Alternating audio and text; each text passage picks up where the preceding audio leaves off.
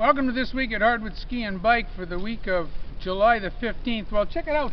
I'm standing where we've just started to clear our new pump track. Uh, we've just started taking the trees down and we're working with the guys at IMBA and the Ontario Mountain Bike Festival that'll be here on the 18th of August to have a pump track ready here at Hardwood Ski and Bike for that event and for people to use uh, after that event. We're hoping to have it done beforehand, but we definitely will have it done by then.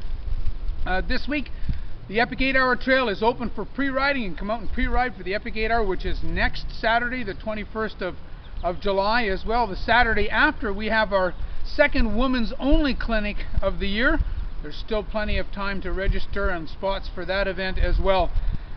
Camp Hardwood has been running now. We're in the second week. We've had 30 kids out here this week and they're having a ball on their mountain bikes. It's going to go for another six weeks until the week ending August 24th and there's still room in all of the weeks. So if you want to have your kids, uh, they're into mountain biking and being outside, there's plenty of room for them to come out to our camp.